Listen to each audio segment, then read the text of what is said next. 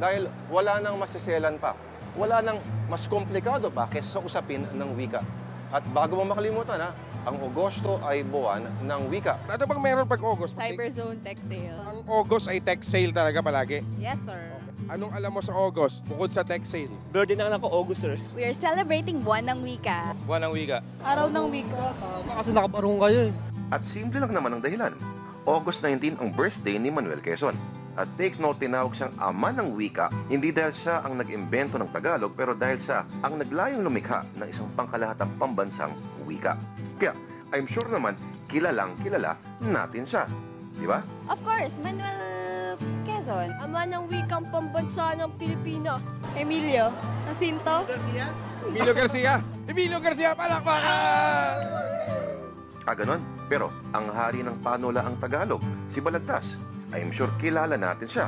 Hindi ba? Francisco Baltazar. Palagtas kaya apelido niyan. Baltazar! Si Manuel Quezon, Sigurado ka si Manuel Quezon yan? Apenary Mabini, sir. Sigurado ka si Apolinario Mabini yan? Opo, sir. Florante. Durante, Marico. ikaw. Dinari Mabini. Ganyan bang itsura ni Apolinario Mabini? Siguro, tumanda na siya. Pero may dalawang agos ang wika. Isang tinuturo at sinasalita sa akademya, sa mga eskwelahan, at isang ginagamit sa lansangan. Tama, no? Tama yung sabi ko, no? Okay na to, la. Saan mo nabili to? Si DR King. Ah, kasama yan ng ano, bangus. Boneless bang? Boneless bangus. At ayon sa mamang ito, ang pambansang alagad ng sining na si Virgilio Almario, dapat raw ay panahon na para mas magkaroon ng aktibong papel ang letrang F. At imbis sa Pilipinas ay gawin na lang Filipinas. Dahil ito naman daw ang urig na spelling na ginamit ng ating mga bayani at Filipinas rin ang nakasulat sa Declaration of Independence ni Aguinaldo. Pero kilala kaya natin si Virgilio Almario. Kilala ko sa mukha, sir, pero sa pangalan nakalimutan ko na. Ay, sino ba yan? Parang nakalimutan ko. Sa Channel 23, ay net 25, yung sa Tulfo? Hmm, eh kung yung muntik ng maging national artist. Oh my God, dapat bang kilala ko siya? Wala na bang iba? Director yan, sir. eh. Direct Pigel Galiaga ba yun? Freddy Aguilar. Ah, ganon. Eh kung artista, artista na lang. Si Ann Cortez. Ann Curtis. Ann Curtis. Ann Curtis. Ayan, si Daniel Padilla. Daniel Padilla, sir. Nasa'yo na ang lahat. Nasaya na ang lahat. John Lloyd. Okay, pag niligawan ka ba ni John Lloyd, sasagutin mo. Siyempre. John Lloyd, sir. Sino mas pogi? John Lloyd o ako? Ikaw, siyempre. At isang ginagamit sa digital na mundo. Pero mga kapatid, ito ang gusto kong malaman. Sa usapin ng cyberspace, napapanoon pa ba ang Filipino? USB, Universal Serial Bus. Yun, ang galing. Pinag-aralan namin sa college. USB, pwede siyang downloadan. Pinagsisave Digital Subscribers Line. Digital Subscribers Line. Wi-Fi yan.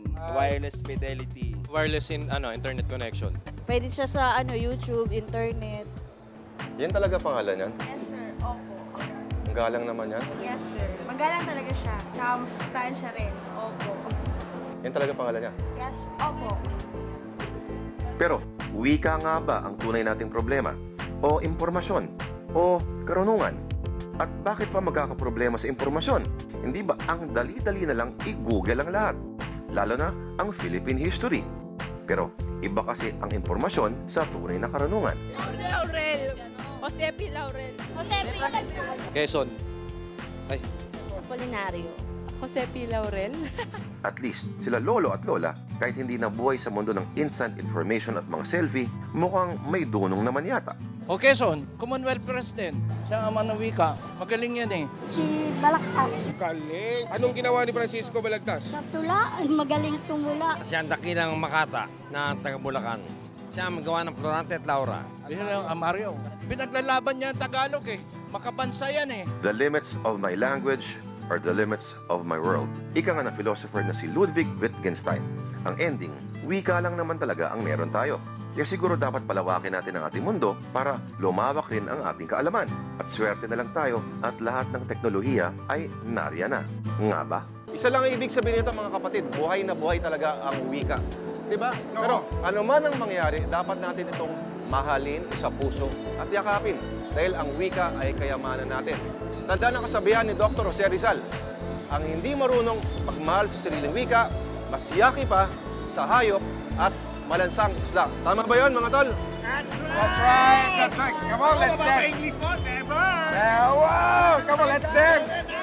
Oh!